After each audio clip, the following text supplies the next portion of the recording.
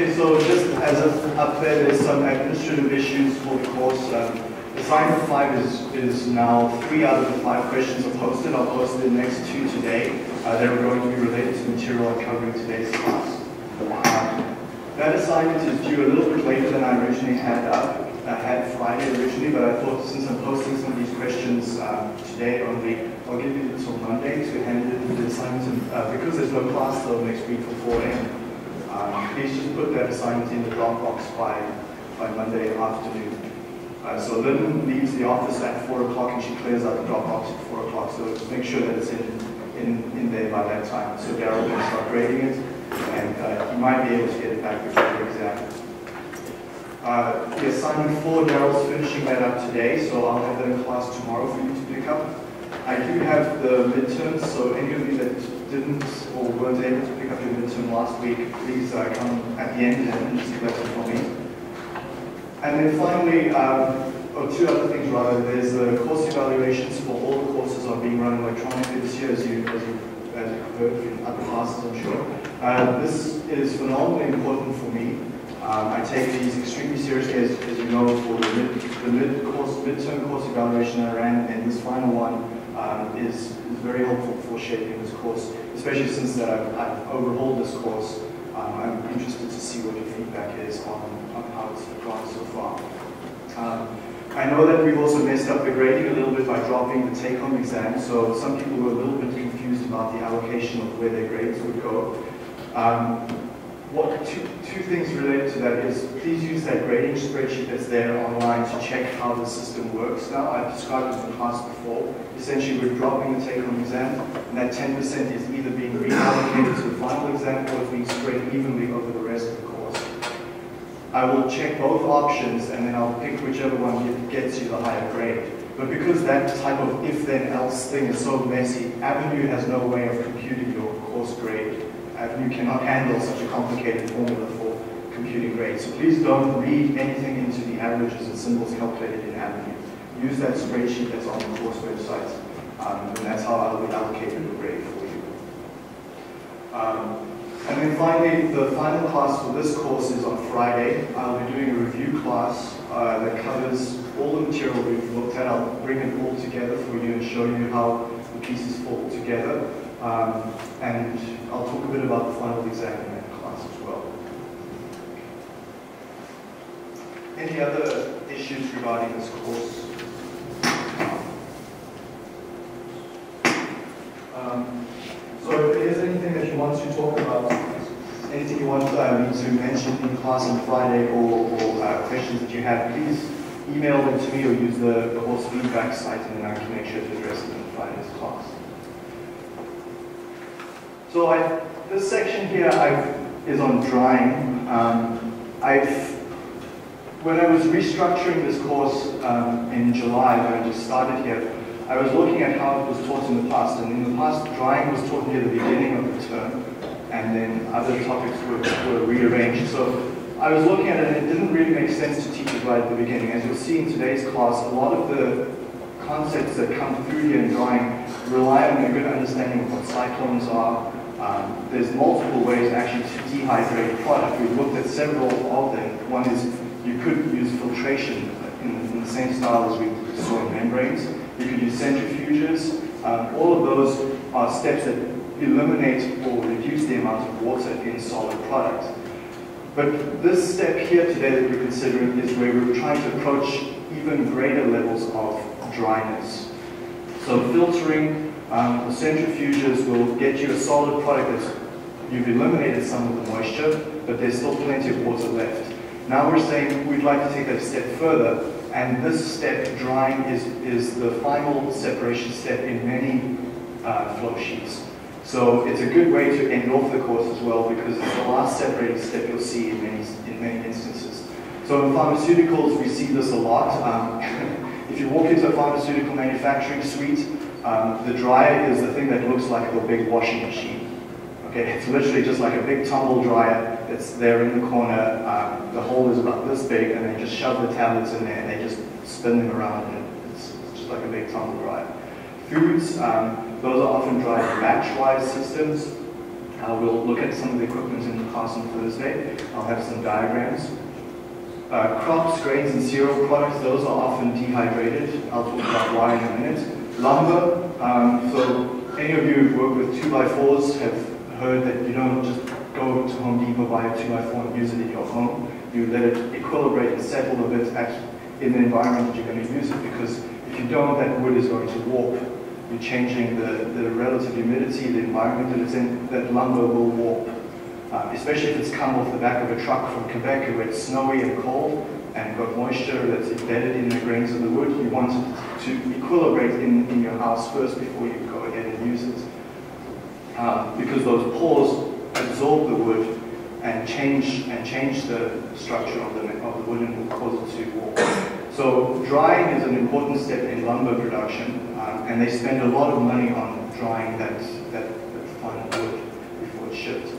Um, we'll see it a lot in chemicals, fine chemical production especially. Um, you're all familiar with your chemistry classes where you've seen, for example, copper sulfate CuSO4 dot 5H2O or dot 1H2O. Um, so there's that, that water that's attached to some of these fine chemicals. And in some instances, we want to drive that water off without changing the chemical and crystal structure. And then an important drying step that's uh, done is in detergents. So to create a good flowability um, washing powder that you add if you, if you use powdered washing um, powder, that, that's, that's dry in the final step. So we dry these, these many products that we consume and use for a number of reasons, but one of the main reasons is because of the reduction of weight in shipping. So we, we really don't want to spend money shipping water around. So if we can drive that water off, it's, it's often more economical to do that first and then ship the product. But the other major reason is trying to package a moist product is, is really difficult. Um, there's all sorts of issues on sealing that product up. Um, it's harder to manage and flow around through a chemical process if it's got moisture in it. So we ideally would like to dry off that moisture first and then have a, a solid product that's easier to flow and manipulate. And then for food products, moisture in your food is uh, a vector for bacterial growth, so we want to eliminate that. And then it also stabilizes the food and tastes if we can, if we can eliminate the, the water first. Other, other foods are uh, dried for not only those reasons, but for preserving flavor and uh, eliminating bacterial growth, but also they impart desirable characteristics to the food. So crispiness and crunchiness in, uh, so for example, potato snacks. No one wants to bite into a soggy chip, right? There's nothing that's less satisfying than biting into a soggy Dorito or something like that. So you really want that crispy flavor, uh, that crispy, um, and they're called organoleptic properties. So all those properties you experience in your mouth, that crunch you feel in your jaw, the vibrations that get set up in your in your skull when you're biting into a good crispy piece of toast. That's all uh, organoleptic properties and they come from drying. And then finally, uh, in some products, especially those products that are shipped in metal containers, drying is important to eliminate corrosion because in the same way that you get the fire triangle, you need three components for fire. There's the same idea for corrosion. You need a metal, you need an electropotential, and then you need moisture. So if we can eliminate one of those, the moisture component, we can uh, eliminate or reduce corrosion. So for, for, many of those reasons, we, we, we need to dry our product. Now, uh, let's just take a look at understanding uh, the equilibrium relationships here. For all products, we can set up isotherms. Okay, so this is why I covered adsorption prior to this, because we need to understand what isotherms are. Uh, here's essentially the isotherms or the equi uh, equilibrium relationship between various materials, moisture, and the, and the moisture that's bound onto that product. So let's take a look, for example, at cotton.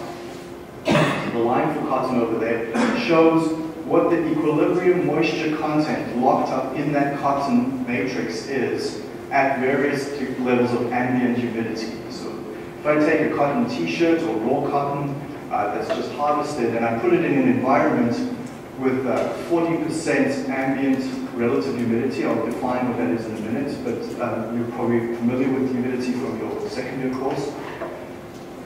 That cotton will equilibrate and have 5 kilograms of water locked up in it per 100 kilograms of cotton. So after a long period of time, that, that's the amount of water that will be embedded in the cotton. In higher levels of humidity, so 80%, that moves to almost uh, 9 kilograms. Now, obviously that cotton, um, if I brought in cotton t-shirts or uh, material that had just, that I just wet, I just made wet from tap or in some other manner, that level of water that's in the cotton is going to be up here, for example. So a wet t-shirt just pulled out from the washing machine may have 20 kilograms of water per 100 kilograms of cotton. But what this graph is saying is in an environment at 20 degrees and 40% humidity, if I leave that t-shirt there, just in the environment, after a long period of time, the water on the cotton will naturally go up into the environment, and the equilibrium amount of water remaining on the cotton is 5 kilos.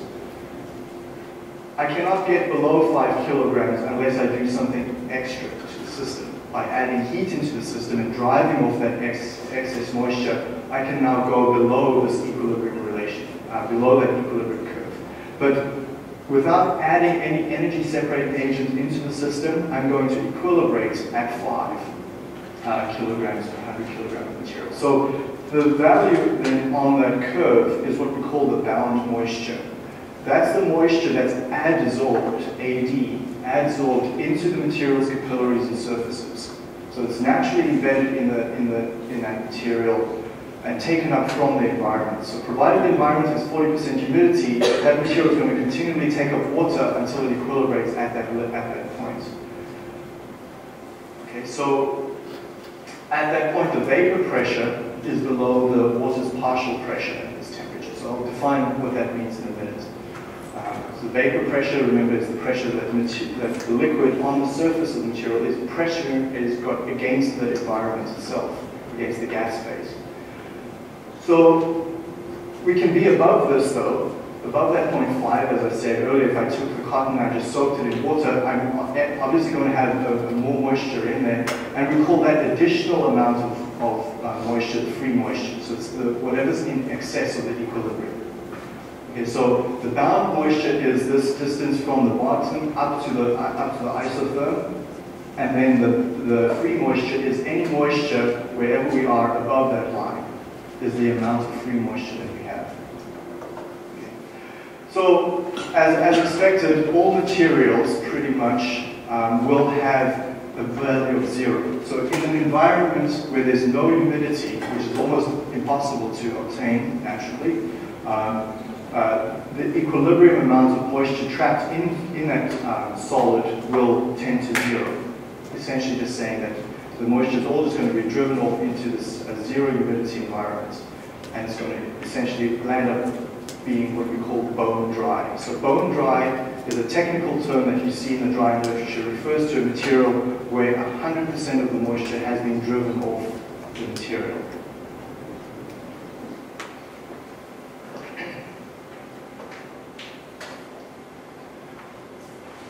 So to understand drying, we need to understand the heat and mass transfer that's taking place. There's two, uh, both are occurring simultaneously, and they're occurring in two directions. So we'll, this, is, this is the critical part to understand about drying, is that there's mass transfer and heat transfer. The mass transfer occurs by taking the liquid that's embedded in the solid and moving it out from the interior of the product to the surface. So if the, if the product is porous, like sand or, or a fine chemical, that water is embedded inside the pores of the, of the solid. We need to move that liquid from the interior out to the surface. At the surface or near to it, we need to vaporize that liquid phase water into the vapor or gas phase, and then transport that vapor, that water vapor, into the bulk of gas. So mass transfer is from the solid interior out to the bulk environment. So that's the direction of mass transfer. Heat transfer is in the opposite direction. In order to get that vaporization occurring, we need some energy. To go from the liquid phase to the vapor phase, we need that heat of vaporization, that energy, kilojoules per kilogram, um, water needs to be provided by the heat source. So that's coming from the bulk gas phase. We're putting a hot stream of air around the solid and we're using the heat from that air to heat up the material and drive off the moisture. That heat goes into two, um, into two types that we call latent heat and sensible heat. So this is uh, something that we're familiar with from uh, our physics or chemistry courses. The latent heat then is that heat of vaporization. Latent heat refers to heat that causes a phase change without causing a temperature change in the product. So it's simply the heat that's used to make the water vapor go from its liquid form to a vapor form without changing the temperature of the water. So part of that uh, heat transfer from the bulk gas is used uh, as latent heat. Then there's the sensible heat. That's the heat that we add in excess to the amount of latent heat, and which we will end up doing. Uh, we'll always add in excess heat that starts to heat up the solid as well. Okay, so it's the same principle as when you're drying clothes in your dryer. And you're adding energy into the clothes not only to dry off the water from liquid phase to vapor phase, but your clothes end up coming out the dryer warmer than, um, than what they started off with. Okay, so we end up adding excess heat to our solid, and that's sensible heat. Sensible heat refers to the fact that we could recover it. So that heated solid, we could in some way recover that heat from it, but in, in general that heat is so, so small that it's, it's not economically feasible to do so. But we end up heating up our solid. So this heat goes into these two, two locations. So heat transfers from the gas into the solid, mass transfers from the solid into the gas. So these complementary directions.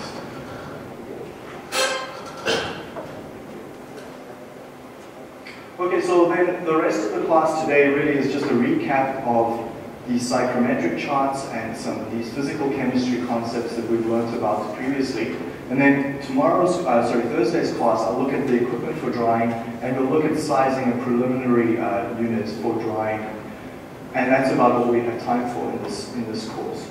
The, and I'll, I'll explain why I'm covering such a limited amount of material in the, in the, in the class on Thursday. So let's just recap the terminology. A lot of this may be familiar for you, but let's, uh, let's all just make sure we're on the same um, understanding here. And if this is still unfamiliar by the end of today's class, I would recommend that you go through this material uh, today or tomorrow to make sure that you understand these the terms coming up in the next few slides. So here's the phase diagram for water. Carl and Chad showed me the phase diagram for CO2 a little bit later, uh, earlier. That's why I, I decided to have these two classes simultaneously. It relies on the understanding of where we are on this pressure and temperature axis over here. Um, we're familiar with the fact that water at this zero degrees uh, point is, in fact, zero degrees in one atmosphere exists as ice, so it's the freezing point of water. If we heat that ice up to 100 degrees C, we, we get boiling. So this is the environment that we're used to dealing with water in every day. What we're looking at here in the drying part of this course is we want to go from the liquid phase down to the vapor phase. Okay, so the uh, one way to do that is to by lowering the pressure. We're, we're familiar with that concept that if you draw a vacuum on, onto a solid, you can start to drive off the water from the liquid phase into the vapor phase. But the, that's, that has an associated cost with it. The other way, though, we can go from liquid to vapor is by moving horizontally. And that's the way we would typically go, is by simply heating up the environment at constant pressure. Um, so we move then from the liquid phase, move the liquid to the vapor phase. So either one of those could work. In general, though, the costs of going along horizontally by adding heat are cheaper than by drawing a vacuum. Uh, drawing a vacuum has some, obviously some operating costs, but also the capital costs of that physical unit and the strength of that unit uh, can be prohibitive. Whereas operating at atmospheric temperatures and just simply heating the product up, moving horizontally, can be uh, far more economical. So we tend to see, uh, see this happening, though there's no reason why we could. Um, and in practice, we do for some drying operations. We do simply just draw a vacuum because the product is temperature sensitive. So for, for some food-based products uh, that will degrade based on temperature, we would rather draw a vacuum onto it and go from liquid phase to vapor phase than to try and heat up the product. Some products also, when we increase the temperature, the product's physical characteristics start to break down. Uh, they they uh, form fines that are undesirable, or they, the product just physically degrades. So drawing a, a vacuum on there would be um, a way to dry the product rather than by increasing the temperature. Okay, so that's where we are. Let's take a look now at some terminology then. Just a quick recap of partial pressure and vapor pressure. So partial pressure is something that we're very comfortable with. We've seen this so many times in chemical engineering. It's secondhand. Uh, it's the pressure that we have in the, in the gas phase due to one of the components. So in this case, we're only looking at water and, and, um, and air mixtures. So in that simple case, that binary case, the partial pressure due to water is the uh, essentially the mole fraction of water in the vapor phase, is what it comes, comes down to. So the vapor phase with uh, no water in it, that partial pressure of water is zero. As we add water into the system, the amount of pressure that's due to the water vapor we call the partial pressure. And that's easy to measure in a laboratory uh, type equipment. Vapor pressure, on the other hand, is the pressure exerted on the solid, sorry, from the solid phase. That liquid water that's sitting at the surface or in the, in the pores of the solid is exerting a pressure on the gas phase and trying to escape into the gas phase. So uh, vapor pressure then you can interpret as that pressure, of material trying to get into the gas phase essentially is a measure of its volatility. Substances with high vapor pressures we would term very volatile. So alcohols have high vapor pressure, they, they will go into, into the vapor phase very readily. Um, other liquids like oils don't have a very high vapor pressure at all. Uh, they stay predominantly in the liquid phase. So the key thing for evaporation and drying is that from a wet solid, we only get evaporation occurring when the vapor pressure exceeds the partial pressure. So when we have enough pressure from that material on the solid surface to push against the, that vapor phase, that's the only time we will get dry. Okay, so if we don't meet that criteria, we will not have uh, material evaporate into, into the vapor phase. And the other, other conclusion that you can get from this is that at equilibrium, these two are happening in even amounts. So there's as much material going into the liquid phase, condensing back into the liquid phase, as there is evaporating from the liquid back into the vapor. So backwards and forwards uh, going uh, is, is, is an even amount. So you'll often see this if you look at, um, if you take like a half full water bottle and it's in the fridge, or not even in the fridge, just as long as the screw cap is on the water bottle and it's half full, you'll see condensing water on the top edge, of, on the interior of the water bottle. That's in equilibrium. That liquid is going into the vapor phase and condensing back onto the surface at the same rate. Those two, um, those two are taking place. So let's take a look at these psychrometric charts. So everyone's got one now? Let's, uh, let's just take a quick recap of, of how to use them. So this is a fairly simplified one. Some of the other charts online have far more lines on them. Let's, let's just take a look though at, at the parts we need. I've, I've, purposefully chosen the simplified one so we can uh, just build up our knowledge here again. So two important uh, variables plotted on the x and y axis, temperature and humidity. So that x-axis temperature is what we call um, the, well, I'll define it in a minute, but the y-axis here is humidity, H. So if you would like to just correct that H there on the side, I'll call it psi, Greek letter psi for, uh, for this class. And it measures the kilograms of water vapor per kilograms of dry air. So if I have one kilogram of dry air, H, the humidity, is the amount of water vapor in addition to that one kilogram of dry air. The temperature axis then is this usual temperature that you, you, you're uh, comfortable with measuring. And we call that the dry bulb temperature to be more specific. Okay, so that's, there's nothing new there on that. That's the standard temperature that you measure uh, with an ordinary thermometer, it's the dry bulb temperature. That's what's on the horizontal axis. The vertical axis, humidity, there's that Greek letter psi that I'll use. Uh, it's the mass of water vapor per mass of dry air.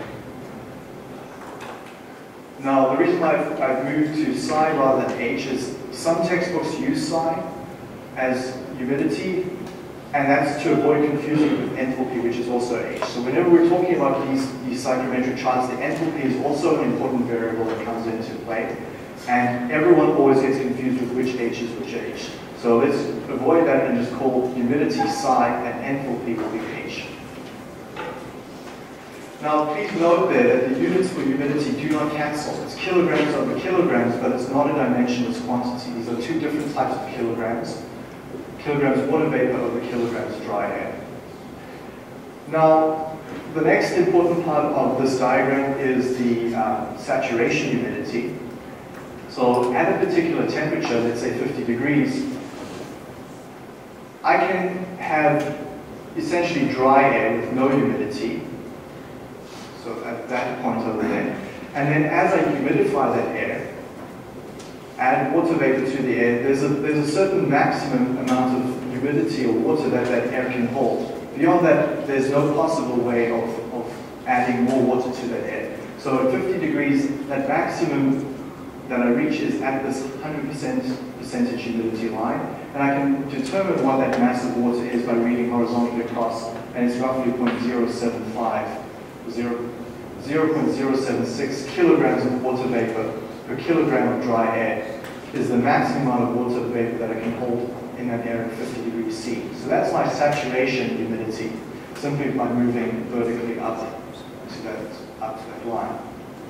Then the percentage humidity, which is the amount uh, that's plotted there actually on the curve, is simply the ratio between the kilograms of water uh, held over the maximum that you can hold. So psi over psi s is then this percentage humidity curves. So the actual humidity is what's on the, on the y-axis, um, but then the percentage humidity is then shown there as those parametric lines um, at 2, 5, 10, increasing percentages.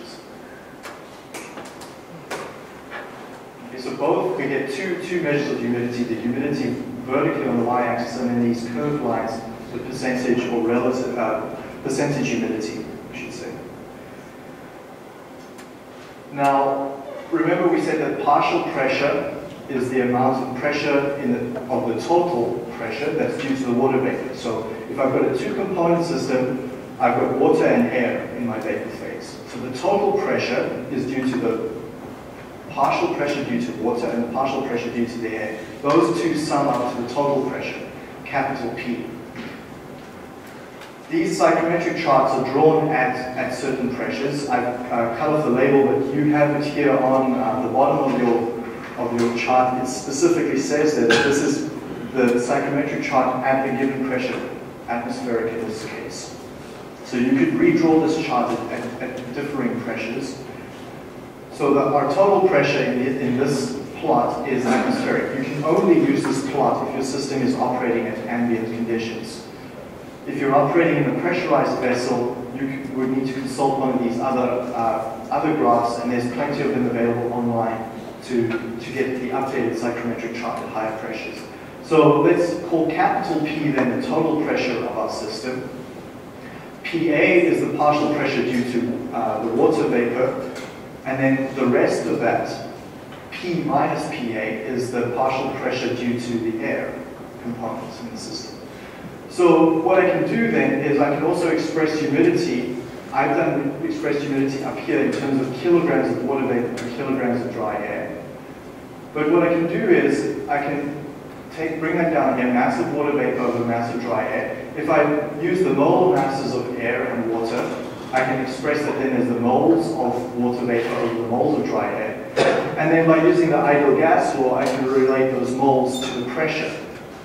So I haven't done the calculation, but you can prove it to yourself that if I plug in the ideal gas law here, remember we're only dealing with a vapor phase system, the number of, I can convert these to moles of water vapor over moles of dry air.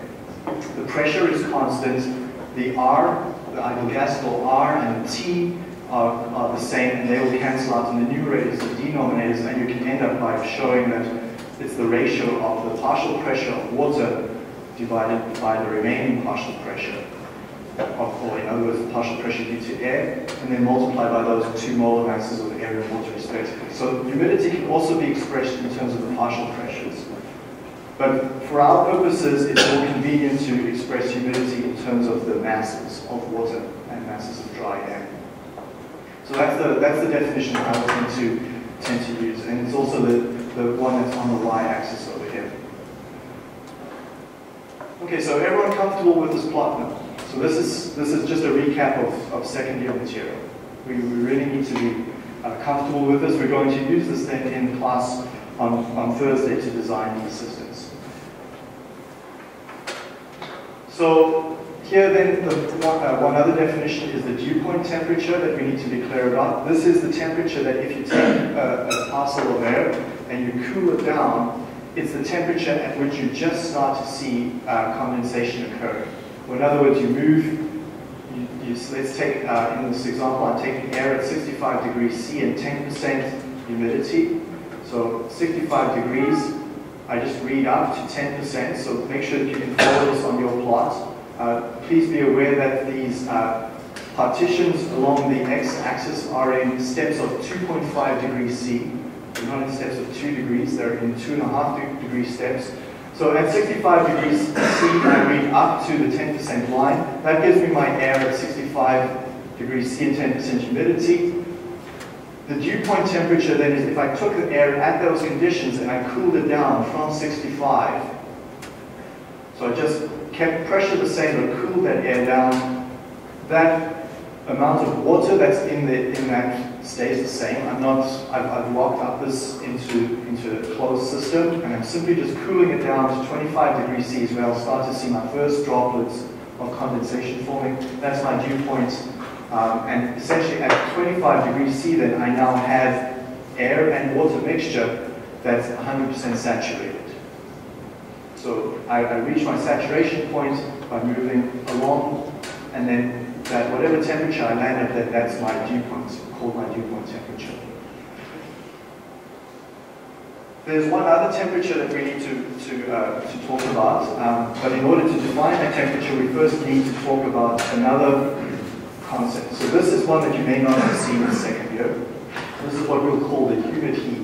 This is essentially, um, you can see it as the heat capacity of an air and water mixture, and essentially is defined as the sum of the heat capacity. So if I consider one kilogram of, of dry air, and that kilogram of air also contains water vapor. So I've got one kilogram of dry air, and in addition to that one kilogram, I've got a certain amount of water that's carried in that, in that dry air. So I've just got over one kilogram of, of gas phase material.